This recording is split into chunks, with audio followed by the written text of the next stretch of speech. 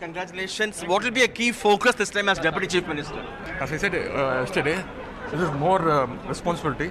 I'll uh, try to fulfill all the uh, whatever the government, the Tamil Nadu people expect from me. I'll try to fulfill it. Any dream projects for you? I'll, I'll let you know as soon as I.